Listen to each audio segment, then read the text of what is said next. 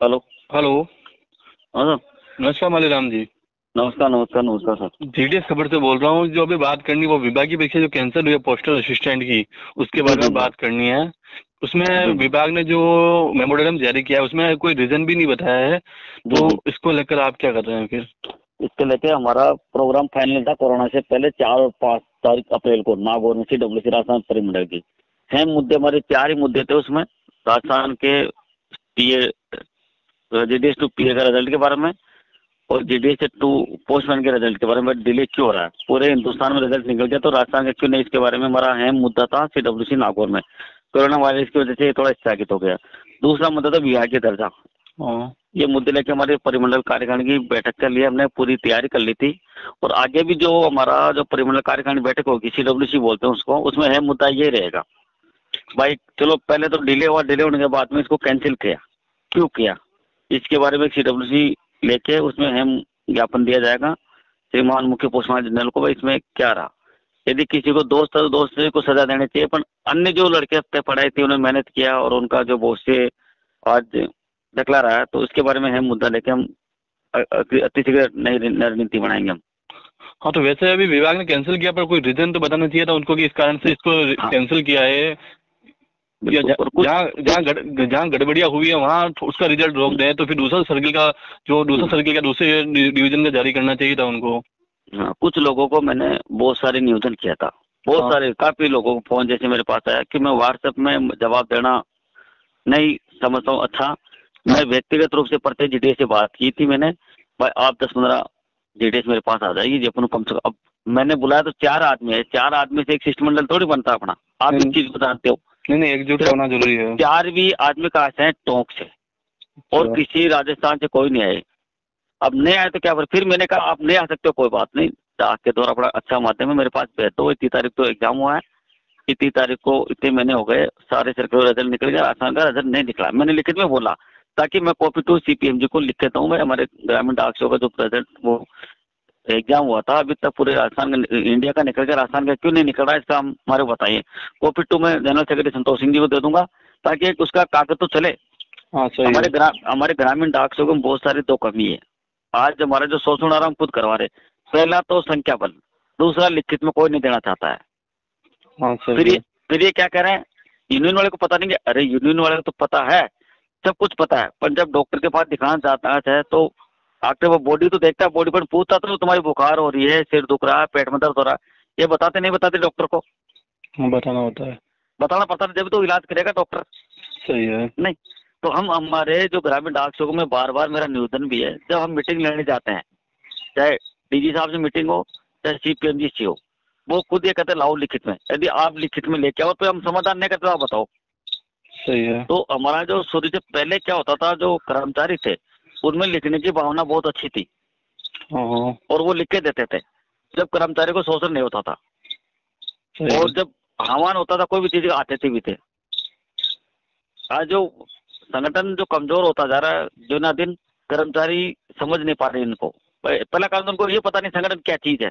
सबसे बड़ी बात तो ये है क्यों उनका जो जीवन उसी प्रकार से गुजर रहा है अठारह साल तक तो पढ़ाई में ध्यान देता है फिर नौकरी लग जाता है तो उनको पता नहीं संगठन क्या होता है परिवार क्या होता है। तो इस बारे में हमारी भी थोड़ी कमी इनको थोड़ा समझाना पड़ेगा। और आगे जो ये राजस्थान का जो रिज़ल्ट के बारे में है इसका हमारा जो परिमंडल कार्यकारिणी का अति शीघ्र मीटिंग लेके इसका हमारा अहम मुद्दा रहेगा। अभी और तो ये सब अभी तो फाइनली इसको कैंसिल कर दिया गया तो अब इसको हाँ। वापस कुछ होने के चांसेस है? नहीं चालीस सौ सी डब्ल्यू मुद्दा लेंगे उनको सीपीएम जी को ऊपर लिखेंगे उनका क्या जवाब आता है? अच्छा। समझे? हाँ उसके हाँ बाद में पढ़ा आगे रूपरेखा बनाएँगे उससे पहले तो क्या बनाए? हाँ, पहले कैंसिल करने का कारण पता चले अपन को उसके बाद हाँ। कदम उठाए। आगे खत्म तो वो हम अकेले तो मैं लिख नहीं सकता हूँ संगठन के। सी डब्ल्यू सी में उसका प्रस्ताव लेंगे हम। तो सी डब्ल्यू सी इसका अहम मुद्दा बना रहे हैं हम। अच्छा। ये है। पर हमारे जीटीएस वाइस में मेरा एक व्यक्तिगत निवेदन भी मैं करना चाहता हूँ और आगे भी करना चाहता हूँ।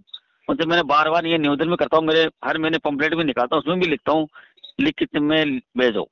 फिर समाधान हो तो हम जिम्मेदार है। संख्या बल दिखाओ। फिर सरकार ने माने तो सभी जिम्मेदार है। परंतु ये दोनों चीज़ बिल्कुल इनके क्या पता क्या सोच है क्या विचार है मेरे खुद के समझ में नहीं आ रहा है। आज तक का जो इतिहास हो रहा है नहीं ग्रामीण डाक सेवक बहुत बताने में हम दो लाख सत्तर हज़ार बताते हैं बट इक्किट होने में दो सौ ढाई सौ हज़ार से ज़्यादा कभी किटी नहीं हुई। है सही है। इनको भी फिर अधिकारियों को पता है और सरकार को पता है।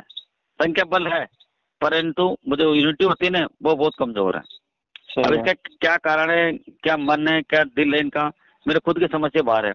जब बोलते हैं तो क्या कहेंगे प्रोग्राम करो हम आएँगे। प्रोग्राम हम करते हैं, नहीं आते हैं तो मेरे वो काम हो गया। मतलब कुछ न कुछ एक नया जो निकाल लेता है। तो अभी तो चलो कोरोना चल रहा है, देश एक संकट में है। इसके लिए अभी तो भी नोटिस भी नहीं दे सकते हम, परिमंडल कार्यकारिणी की सी का। कोरोना जो खत्म होते ही हम नोटिस देंगे और अति शीघ्र हमारी नागौर में सी होगी। जो अहम मुद्दा यही लिया जाएगा राजस्थान परिमंडल का जो रिज़ल्ट पहले तो डिले हुआ, उसका कारण दूसरा कैंसिल क्यों हुआ? इसका कारण आगे क्या आपके राय डिपार्टमेंट से दो तीन चीज़ें पूछ के आगे लड़ाई करेंगे। दूसरा हमारे विभागीय दर्जा की जो लड़ाई है वो जारी रहेगी। ठीक है ये हमारा अहम मुद्दा परंतु आपके चैनल के माध्यम में आपसे निवेदन करना चाहता हूँ व्यक्तिगत आप भी हमारे जो ग्रामीण डाक सेवक है ये उनको थोड़ा सा दो चीज़ों के बारे में अपने चैनल के माध्यम से समझाओ एक तो कोई भी चीज़ होती है लिखित में देना सीखो। ठीक है। अपने पदाधिकारी को। यदि वो पदाधिकारी लिखित में आप देते हो और वो काम नहीं करता तो उसकी ज़िम्मेदारी हमें। हम उनको करेंगे आगे। दूसरा कड़ कोई आह्वान होता है तो संख्या बल बहुत ज़रूरी है। आज कोरोना से अपन लड़ रहे हैं। देश हाँ। ने दो लोगों को आगे किया है। पुलिस और डॉक्टर। दोनों अपनी ड्यूटी पूरी निभा रहे हैं निभा रहे नहीं निभा रहे और पूरे हिंदुस्तान की जान बता रहे हैं। हाँ मोदी जी केवल सबसे रिक्वेस्ट कर रहे हैं हाथ जोड़ रहे हैं और अपील कर रहे हैं। इसी प्रकार हम भी करते हैं परंतु फिर भी न लिखित में देते हैं और न संख्या बल दिखाते हैं। सही बात तो आप भी मैं आपसे आपके चैनल से बहुत अच्छा हमारे को सहयोग मिला और काफ़ी उपलब्धि आपके चैनल से हमारे को प्राप्त हुई है ऐसा नहीं है। और आपके चैनल के सहयोग से काफ़ी लोगों में जागरूकता भी आई है। काफ़ी लोग एक व्हाट्सएप है हमारे एक तो व्हाट्सएप पर ज़्यादा डिस्कस करते हैं लिखित में नहीं देते हैं।